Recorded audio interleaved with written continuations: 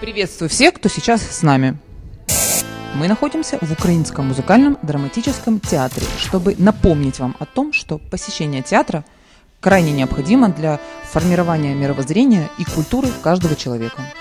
Украинский Декамерон – это спектакль о любви и смерти. Перед зрителями пестрой вереницей проходят люди, грешные и безгрешные, ангелы и черти, смерть, холера, чума.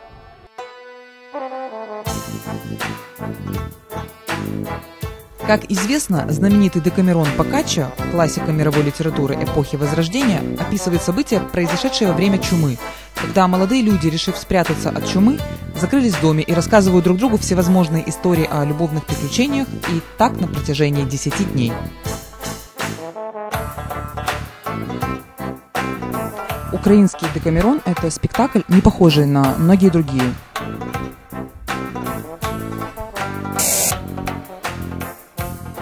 Уникальное расположение зрителей на сцене создает иллюзию участия в постановке и взаимодействия с артистами.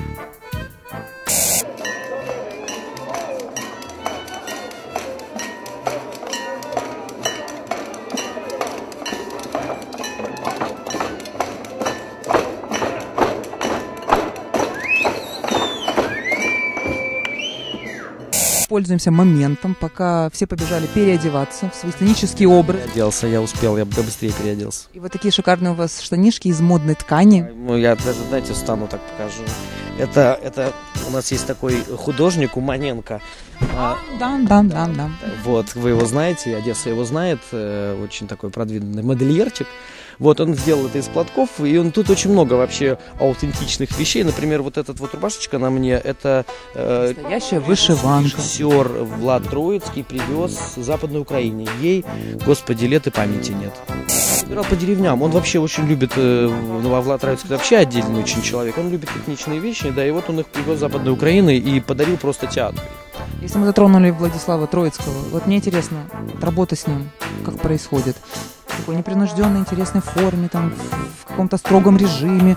И вообще, он для вас авторитетный режиссер? Ой, ну, ну, я до э, встречи с ним знал, только слышал о театре Дах, который у него есть э, в Киеве. Больше о нем, честно говоря, ничего не знал, а как бы мы узнаем о творческих людях по их работам. Я их, к сожалению, не видел, но так получилось. Но когда он приехал, это действительно очень странный человек, очень уникальный человек. Он уникален даже тем, например, что он планирует репетицию. Говорит, сегодня работаем допоздна, вот до самого упора, и через полчаса он говорит, нет, все, я не могу, у меня замылился глаз, давайте, все, репетиция окончена. Очень специфический человек. Но это, скажем, такие чисто производственные моменты. А что в плане э, оригинальности труда, который у нас состоялся в свое время, это, э, как бы назвать таким простым, очень понятным, внятным языком, э, человек погружал нас каждую репетицию в атмосферу. То есть он придумывал некие обстоятельства и погружал нас, ну, как вариант. Мы приходили сюда в зал, он просил э, все световые службы отключить все световые приборы, погружался в зал в полную темноту, а у нас же здесь нет ни окон, ничего, и говорит, давайте помолчим. А потом подходил кому-то на ушко говорит, а запой тихонечко песню. Начинала звучать тихонечко песенка. Говорит, кто подхватывал, кто не подхватывал, кто просто лежал, молчал. И вот создавалась такая атмосфера. Он говорит, стоп, все, начинаем работать. Вот таким вот образом э, Влад Троицкий у нас развлекал. Он действительно придумывал очень много вещей. Например, он говорит, мы же не можем быть знакомы со смертью, о чем говорится очень много в этом спектакле. А, Поэтому давайте мы хотя бы смоделируем эту ситуацию. Ну, в таком, на, Примерно приборами. вот, да, приблизительно, да, ну вот не прибор, да, он раскладывал э, вот, вот эти скамеечки, которые здесь находятся, мы их раскладывали и э, играли в мертвых и оплак- оплакивающих мертвых. Ну, то есть мы реально пытались играть в игрушки, что вот этот человек умер, а мы как бы к этому как-то относимся. Но это очень много было таких странных вещей. Да даже у нас присутствовал здесь на репетиции Олег Скрипка, его друг, э, который был, ну, как-то нескромно о себе, но он был приятно удивлен нашим оригинальным вокалом, э, о том, что здесь используется такое э, горловое пение, которое не совсем свойственно, скажем, нашему региону Украины. Это больше Западная Украина, это э, венгры, австрийцы, ну это как бы вот туда где-то такие этничные ребята, они там это спевают.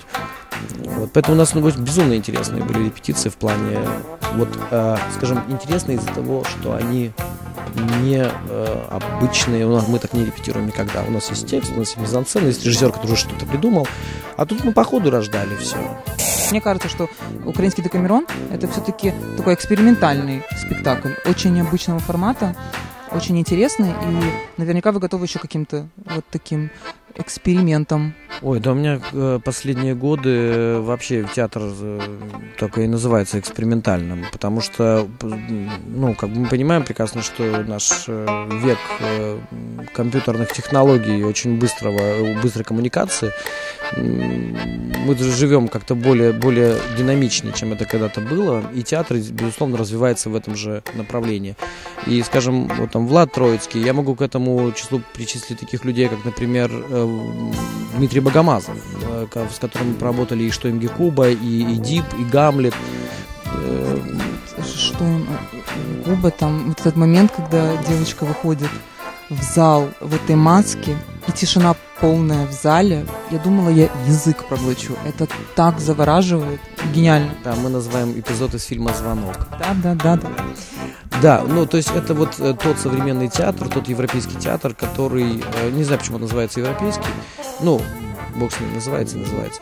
Э, тот современный театр, который предлагает новое восприятие абсолютно внятных, понятных ранее нам э, ситуаций.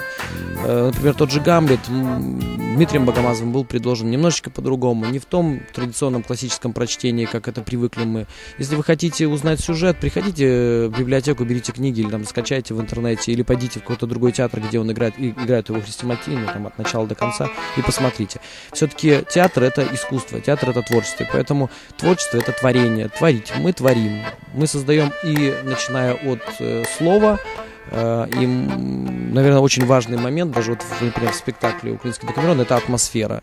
Это вот э, зритель очень близко сидит как к артистам, мы не форсируемся, то есть мы не форсируем ни движение, ни голос. И есть ощущение полного присутствия, такой 5D, 10D, не знаю, как, ну, очень, опять же, очень современный формат. И эта атмосфера, э, в которую попадает зритель, он становится соучастником, участником этого процесса. Невольным, он со стороны, но он очень близко за счет этого, он рядом в этой истории. Евгений, спасибо вам огромное. Заинтриговали, потому что раньше, когда я ходила на этот спектакль, не была лично знакома, сейчас мне вдвойне интересно, что из этого получится.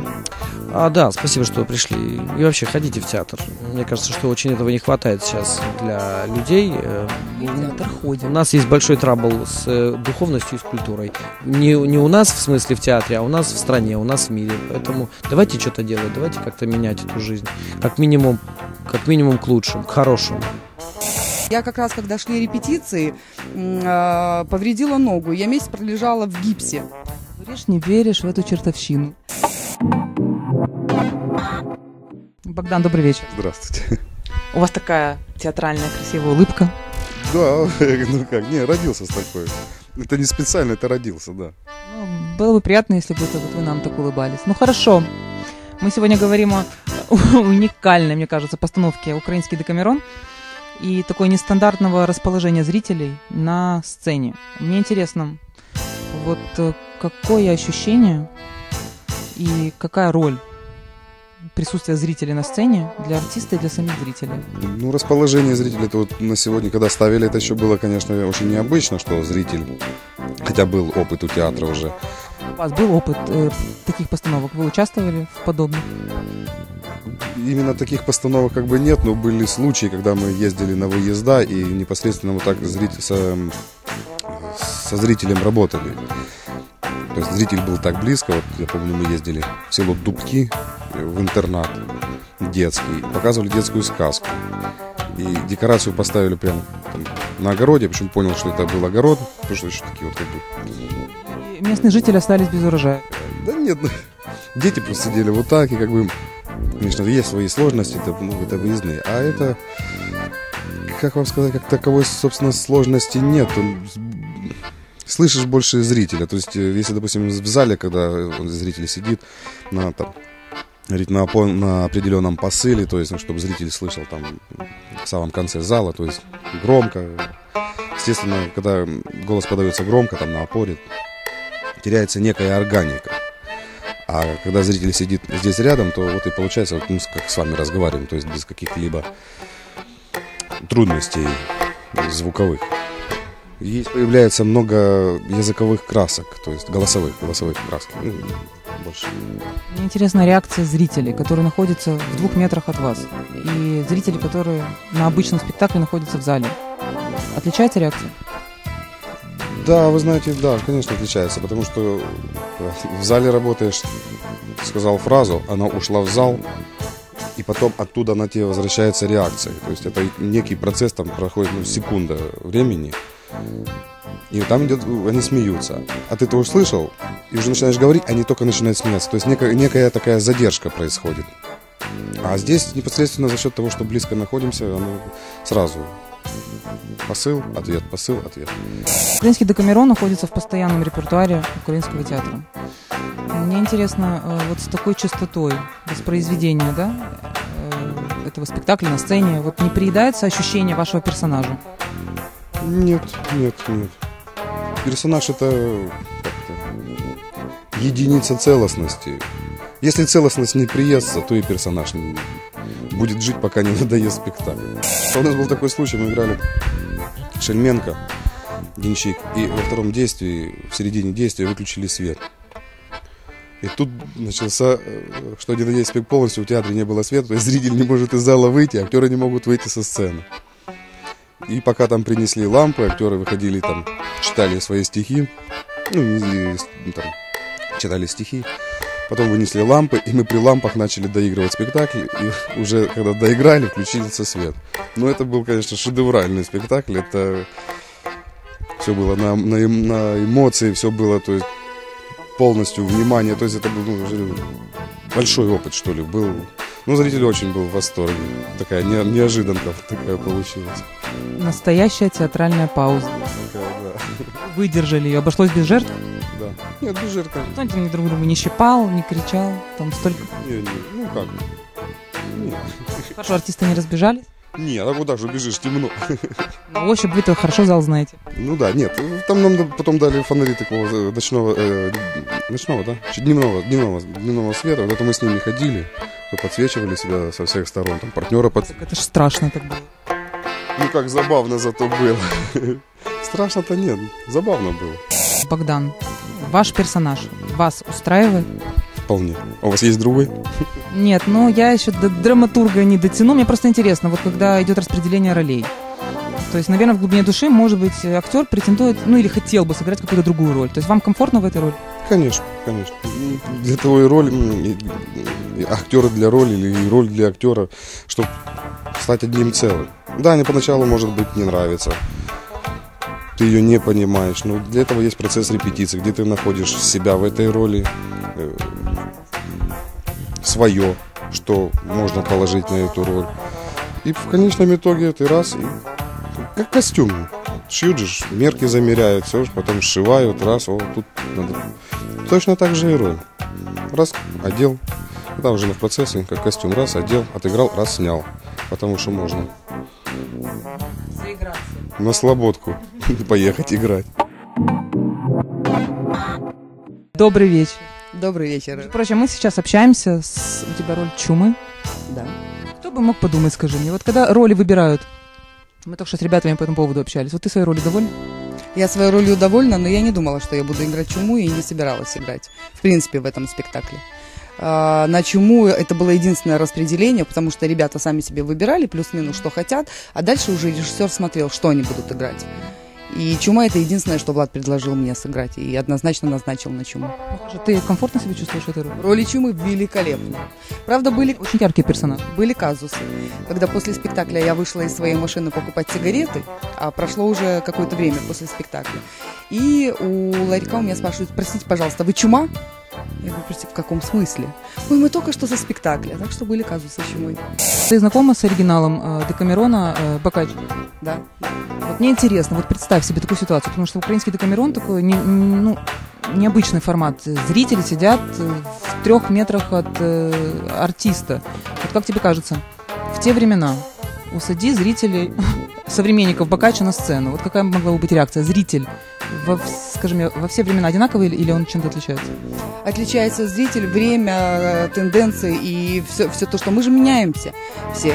В те времена, когда играли как на катурнах, ну, представляешь, у тебя на лбу два с половиной часа вот с такими вот жестами, с разрисованными лицами и, и играют.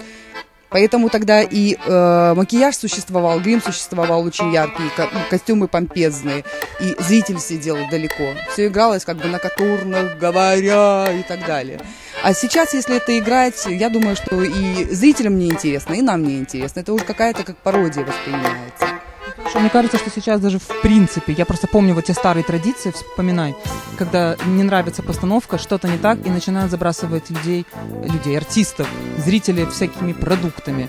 Вот эта традиция ушла канула в лету. Как тебе кажется, может быть, стоит ее возобновить, чтобы меньше было ненужных постановок, спектаклей плохих артистов? У меня есть альтернативное предложение. Есть очень красивые корзинки продаются. Вот туда это все можно складывать и просто Вместо цветов. презентовать. Понимаешь, зачем бросать?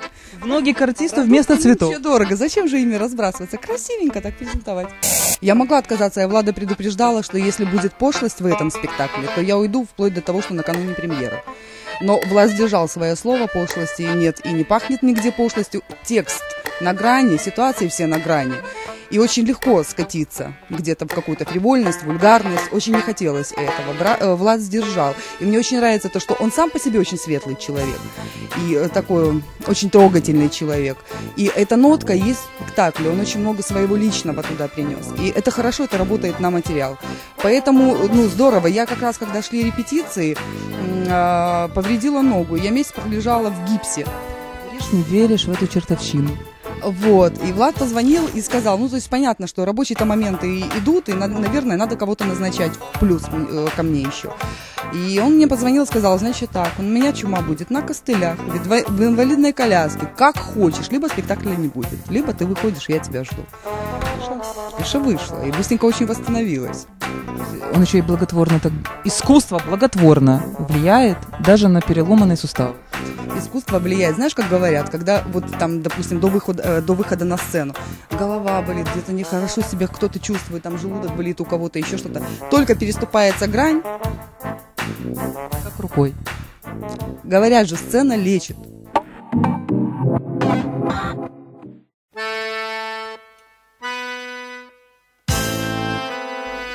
На постановку спектакля руководство театра, продолжая практику приглашения лидеров современной украинской режиссуры, пригласило Владислава Троицкого из столичного центра современного искусства ДАХ. Кстати, отметим, это первая постановка режиссера вне своего коллектива.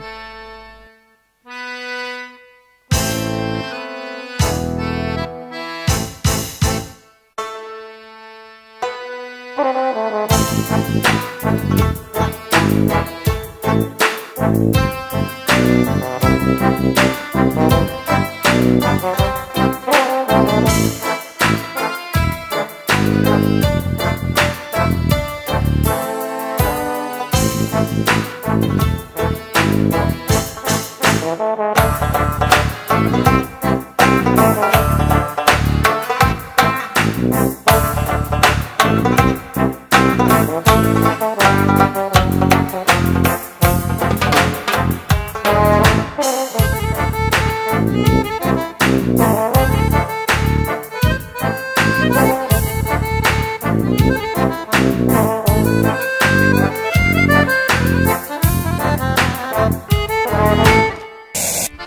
утверждал великий классик, весь мир театр, а люди в нем актеры. С вами проект «Туса досуг в деталях». До новых ролей!